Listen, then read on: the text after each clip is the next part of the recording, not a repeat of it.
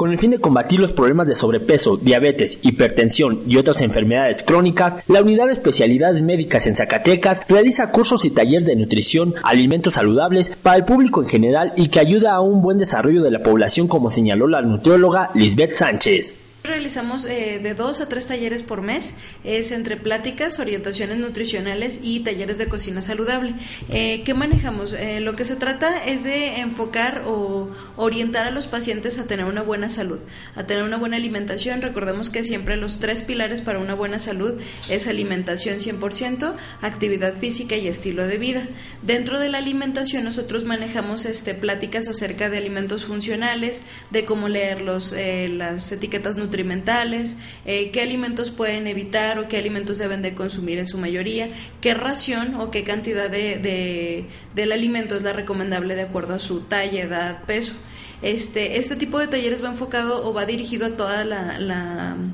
este, población en general. Eh, manejamos lo que son aquí a los pacientes, se les da como un recordatorio para cuándo pueden venir a, la plática, cuándo va a ser la, la, plática y el horario que se maneja. Pero nosotros también manejamos que pueden traer a familiares, amigos, a gente para que la gente eh, sepa qué, centro de salud puede asistir o qué este qué tratamiento puede llevar e inclusive ingresar como paciente. Entonces, lo que tiene que hacer la madre de familia es acudir a cualquier centro de salud, eh, inclusive si no puede ir, por ejemplo, con un particular o médico, nutriólogo, lo que sea, en centros de salud, este, con solo el, el plato del bien comer, que nos expliquen las raciones, cómo combinar los diferentes grupos de alimentos que tenemos y qué ración o qué cantidad es adecuada de este alimento es más que suficiente y nosotros llevarlo a la práctica. Este, como te digo, eh, aquí pueden venir las personas que, aunque no tengan em, seguro popular, todo eso, eh, de preferencia, este, personas que